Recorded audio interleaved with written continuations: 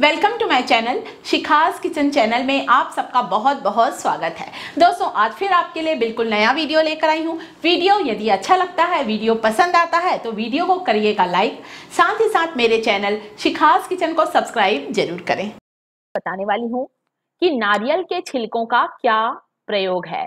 बहुत सारे अलग अलग उपयोग बताऊँगी दोस्तों कि नारियल के छिलकों का आप किस तरह से इस्तेमाल कर सकते हैं। ज़्यादातर हम लोग नारियल खा लेते हैं और नारियल खाने के बाद हम उसके छिलकों को फेंक देते हैं।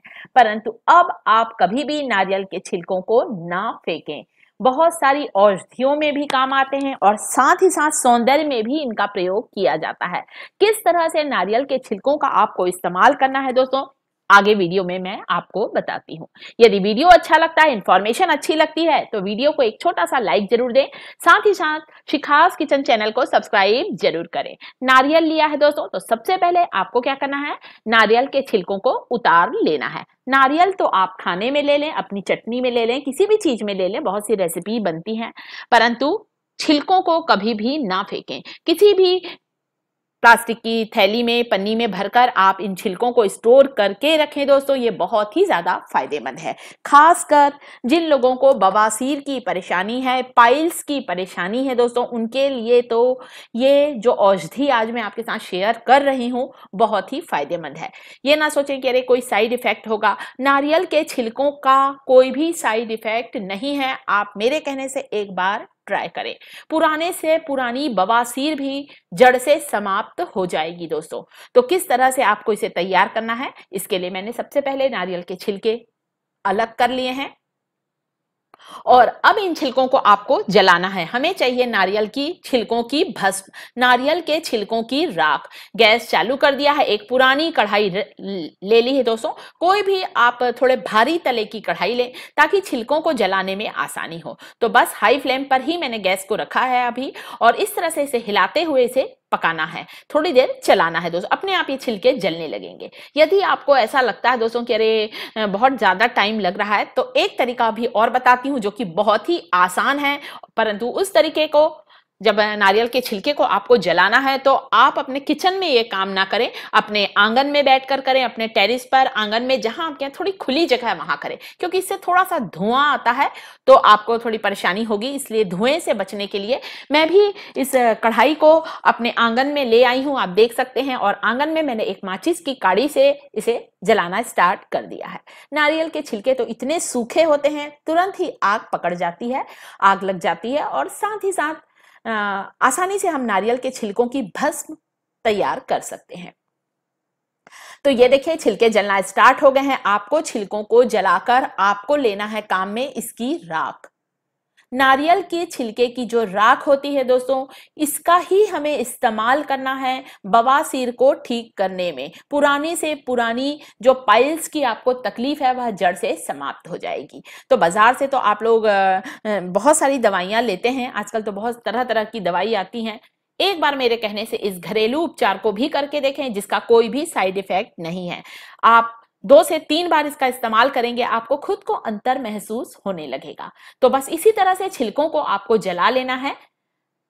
तो मैं इसे आँगन में बैठ के इसलिए कर रही हूँ क्योंकि धुआँ बहुत ज़्यादा आ रहा है दोस्तों और थोड़ी गैस की भी बचत हो जाएगी। अगर गैस पर करना चाहें तो आप गैस पर भी कर सकते हैं। गैस में थोड़ा सा ज़्यादा टाइम लग जाता है, इसलिए मैंने खुली हवा में यहाँ पर ले आई हूँ आँगन में और इस तरह से मैंने छिलके को जला लिया है।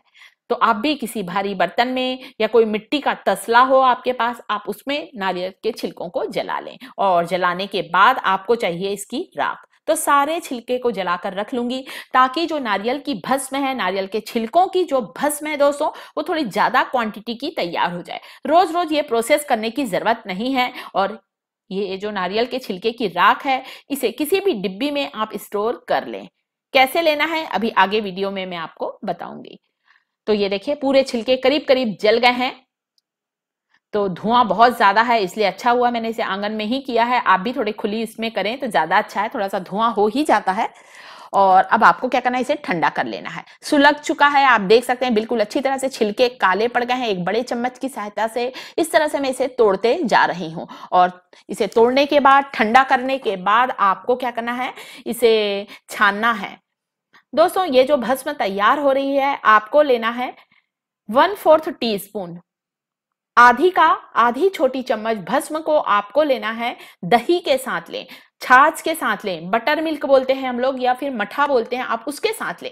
दही की तासीर ठंडी होती है मठे की ता, तासीर ठंडी होती है और ये छिलके होते हैं दोस्तों इसकी तासीर भी ठंडी होती है। बवासीर को खत्म करने में बवासीर से राहत दिलाने में नारियल के छिलके की जो भस्म है वह किसी औषधि से कम नहीं है। बहुत ही अच्छी एक औषधि दोस्तों, पुराने समय में लोग इसका इस्तेमाल करते थे। और ये जो नुस्खा शेयर कर रही हूँ ना दोस्तों, ये मेरे घर पर ही मेरी नानी ने ये नुस्खा दिया था मेरे परिवार में और बहुत ही ज़्यादा फ़ायदेमंद है। बस उसी चीज़ को मैं आपके साथ शेयर कर रही हूँ।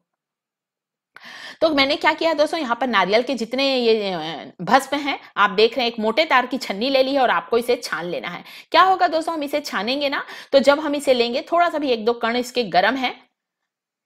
ये देखिए तो बस अब ठंडा हो चुका है, अच्छी तरह से और आपको क्या करना दोस्तों, इसकी ये जो राख है, इसकी जो भस्म है, इसे डिब्बी में भर ले और ताकि आपको रोज रोज इतनी मेहनत करना ना पड़े कि रोज नारियल के छिलके जला रहे हैं, छान रहे हैं हैं।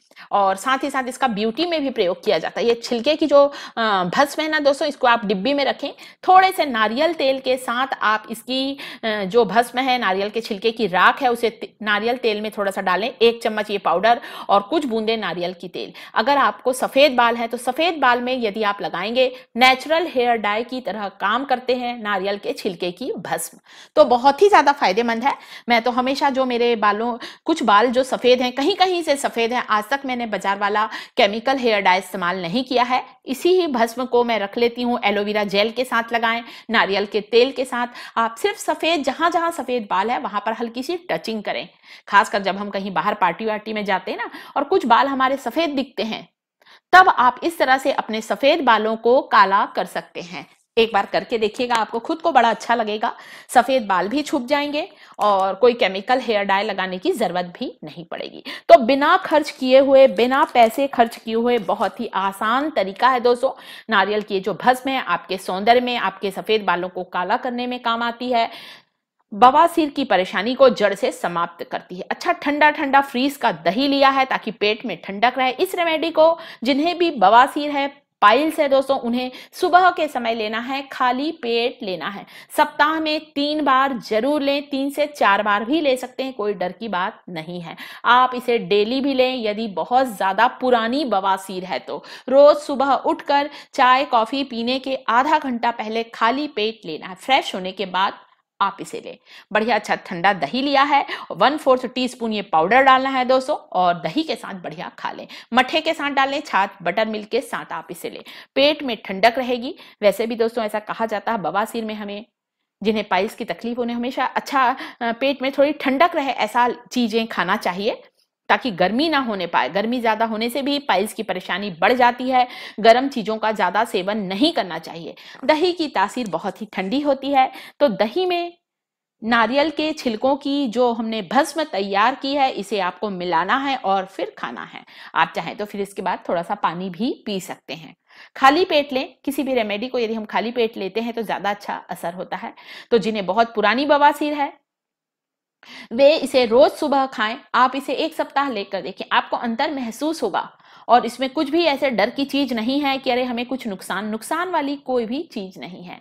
तो आधा कटोरी दही ली है, इसमें मैंने छोटी चम्मच, आधी छोटी चम्मच से कम डाला है, आप वन फोर्थ टी स्पून ही डालें और दही में अच्छी तरह से इसे आप मिक्स कर लें और फिर आप इसे लें। तो दोस्तों बवासीर को समाप्त करने का ये बहुत ही अच्छा तरीका आज मैंने आपके साथ शेयर किया है। आप इसे ट्राई कर सकते हैं। पेट में बहुत ठंडक रहेगी, साथ ही साथ आप अपने सफ़ेद बालों के लिए भी बाकी के पाउडर को स्टोर करके रखें ताकि आप बालों पर लगा सकें। तो इसे लें, उसके बाद आप पानी पी सकते हैं दोस्तों। और वैसे भी जिन्हें पाइल्स रहता है उन्हें ठंडी चीज़ों का सेवन ज़रूर करना चाहिए, पपीता खाना चाहिए, ताकि कॉन्स्टिपेशन ना रहे। कॉन्स्टिपेशन की समस्या बिल्कुल भी नहीं होना चाहिए जिन्हें बवासीर है। तो पेट का साफ़ होना बहुत ज़रूरी है। और इस घरेलू रेमेडी को आप ट्राई कर सकते हैं, आपको रिज़ल्ट मिलेगा। ये देखिए, बालों में कैसे लगाना? चलिए बता देती हूँ मैं। मैं इस पाउडर को एक डिब्बी में स्टोर कर रही हूँ। एक कांच की छोटी कटोरी में मैंने कुछ बूंदे नारियल के तेल की डाली है और इस भस्म को लेना है। और ये हमारा बाज़ार से भी अच्छा हेयर डाई बनकर बिल्कुल तैयार है। बस सफ़ेद बालों में आप लगा लें। सफ़ेद बाल की समस्या भी हल होगी। वीडियो अच्छा लगे तो लाइक करें, शिखास किचन चैनल को सब्सक्राइब करें, कमेंट ज़रूर करें दोस्तों की इन्फॉर्मेशन कैसी लगी और वीडियो आप लोगों को कैसा लगा।